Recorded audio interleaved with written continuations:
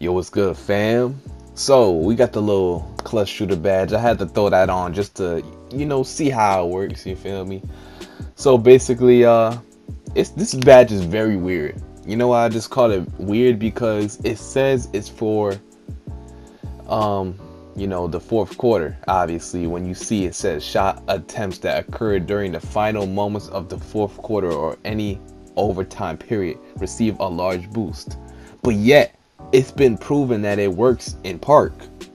So really doesn't go into the to depth about like how it works just based off the description alone because a person will see it and they'll think it's a trash badge because it doesn't work for park, but it does. It does work for park. It's a very good badge for park, and I'm gonna tell y'all why. So basically, you see, I have this on silver, and then uh, the thumbnail is gonna be Hall of Fame. Yeah, yeah, I ain't gonna lie.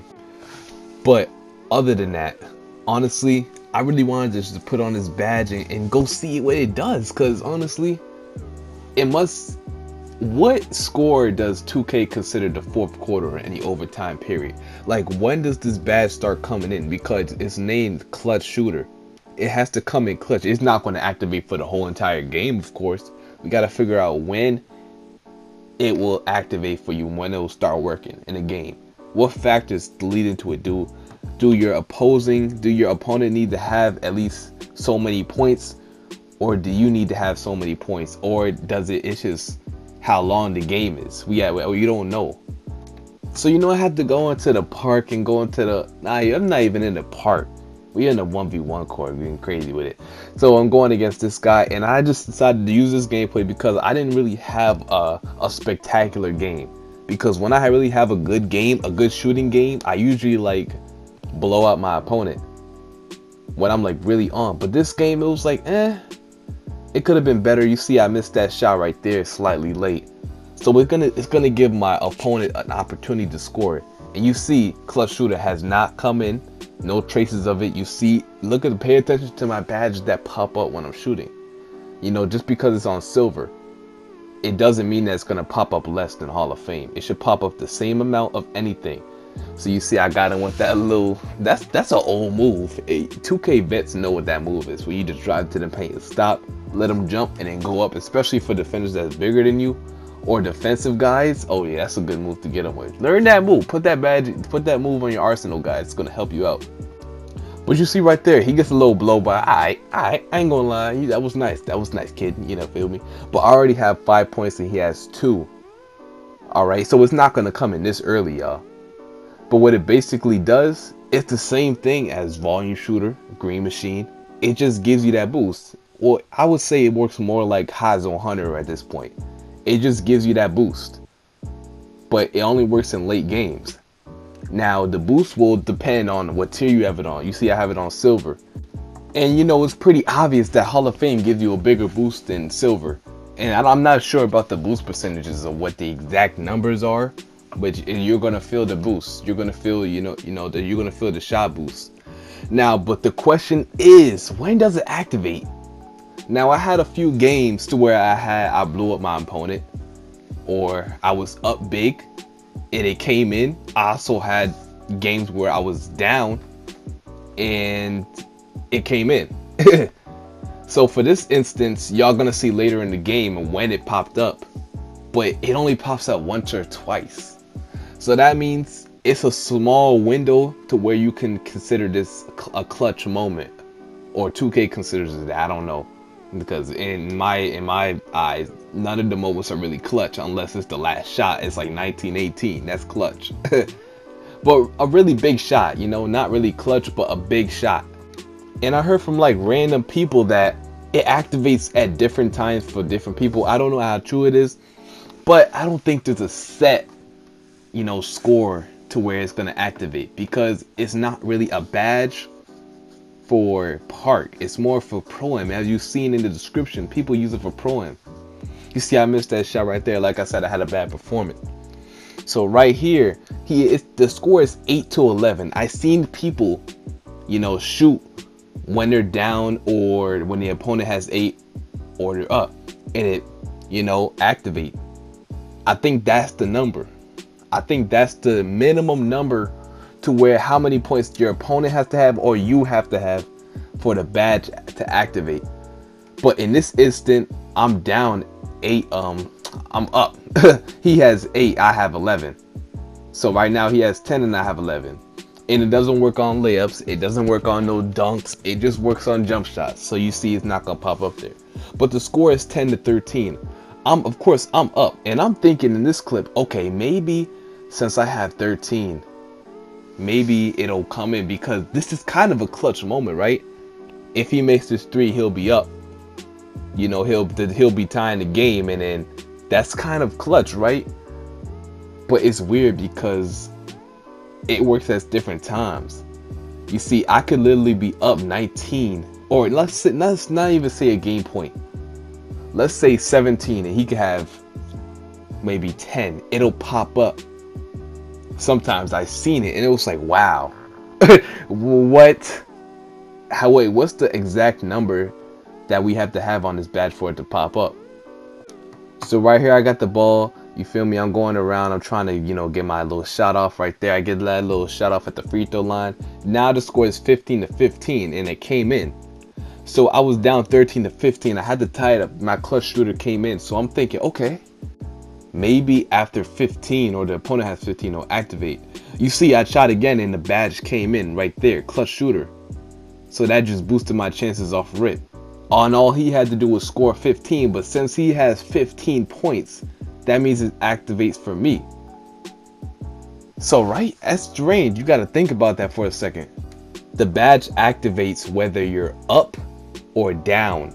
You could be up big or down big and it's up to 2k to decide when's the clutch moment because we've seen it activate when the opponent had 10 points so right here, this is definitely a clutch moment. This is what I consider clutch right here. You see I'm playing defense, right?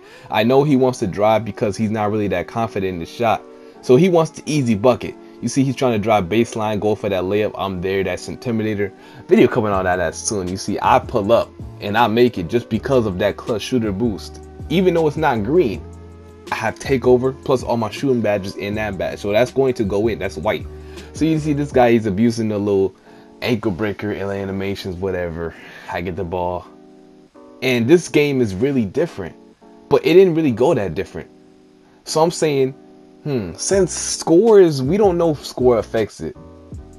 Maybe how long the game carries on will affect it, but that's not really likely because they don't they don't really count how long a park game is, right? Don't do they? Am I am I bugging? Do they do that? I don't know.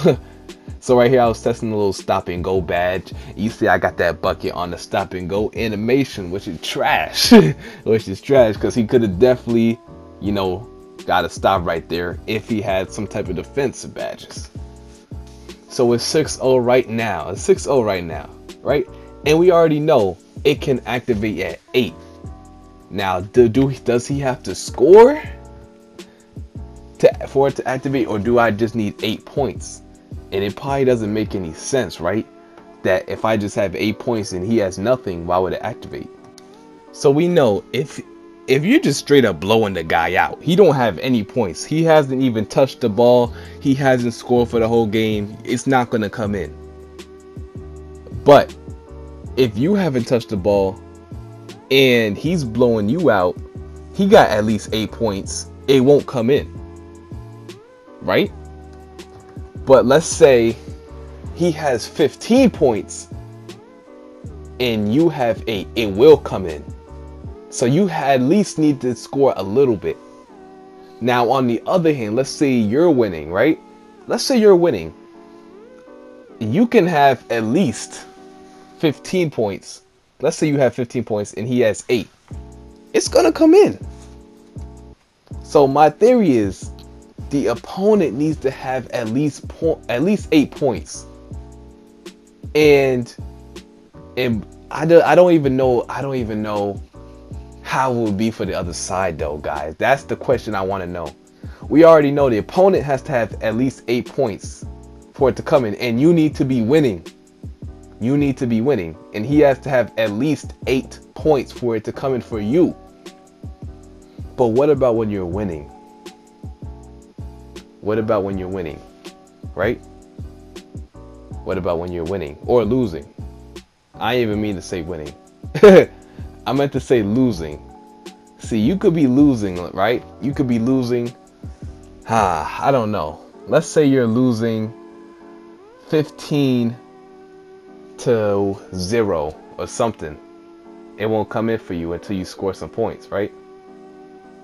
So you would need to score at least 8 points or maybe 10 for it to come in. He has 15, you have 0. So you need to score some. It's not going to come in if it's 15 to 0. We already know that. You have to score. So my point is maybe on offense, if you're leading the game 15 0, it's not going to come in until he has 8 points. But if you're losing, you need to score at least half of what he has for it to come in for you, or else it's not going to come in. And you can see right here on the clip. What? Wait, what did I do to mess this up? I, I want to know what I did. I think I shot this mini and I missed. So he got the board. He's going back out. I think he scores right here to, you know, to get eight. Okay, he got eight. Right, he got eight. So I'm gonna get this stop right here. I'm gonna try to get this stop right here. You see, you see he dribbling around, doing all that BS. Like he shoots the mid, he bricks, he trash. I go out and I wait for him. You know, I'm trying to shoot the ball right here. I get a little curry slide and I green it. And the badge pops up. First badge pops up. And he's nowhere near me. I'm bowling by like seven points. Seven, nine points. That's not a blowout, but in park, yeah, that's a blowout. Especially on the 1v1 court it's like wow. Honestly it's weird because you could literally be down or up and it'll still come in. And it, i don't even think it came in for this one for that shower too because it'll it'll say the first badge that pops up clutch shooter it doesn't come in. It's kind of weird y'all. but honestly let's just run through a run let's just go through a recap real quick real quick. So if you're down if you're getting blown out, it's not going to come in until you score some points, at least half of what he got. If he got 15, it's not going to come in until you at least score 8, right? But if you're up, it's not going to come in until your opponent scores at least 8, right? And if it's a tie game, then 2K is going to decide when to do it. It's kind of random, but you can estimate when the badge is going to start coming in, y'all. But honestly, let me know when it comes in for y'all. I'm curious because this badge is kind of weird, but hey, let me know if y'all like this video. Make sure y'all like, do all that good stuff. Comment, put down below, do all that good stuff. And I'm going to see you in my next video. Let me know if y'all like the badge or not. Peace.